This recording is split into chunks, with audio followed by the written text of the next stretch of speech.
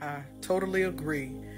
And I've always wondered why black filmmakers, when they make movies, why they do fictional or comedic things that have to do with religion. Um, you know, I would love to see more black people inside of these biblical movies that's put out and I want to see some serious ones, you know, because it's it's very serious. You know, it's one of those things that, you know, it's life or death and people learn through these you know, videos in movies. Um, now, as far as mine, why I didn't put up a black Jesus on what I did is because I was supposed to be changing everything over and I never got around to changing things over for inclusion. So I just used the pictures that was at my disposal.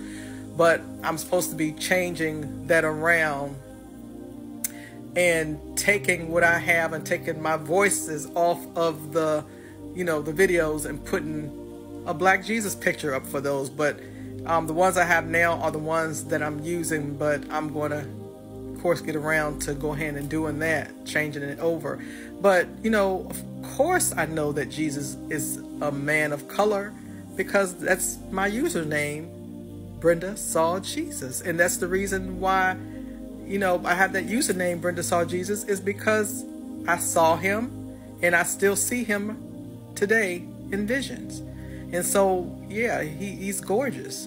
And just because people know that he has blue eyes, they always call him White Jesus. And he's not white just because he has blue eyes. I mean, I know somebody in my family right now that was born with blue eyes and just as gorgeous, and and he isn't white either. You see, and, and there's some people around the world with color eyes, and you know, and they're black people. So I don't like when people go around saying that somebody is a, of another color, and call people out of their race because they have colored eyes.